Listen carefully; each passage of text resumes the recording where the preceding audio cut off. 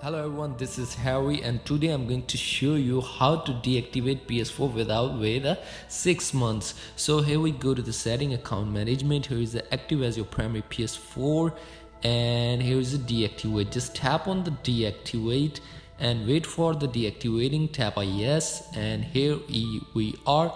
So deactivating and wait for the deactivate, there is a deactivate. So after that you go back to your screen automatically. So if you want to activate again so go to the settings and the same place.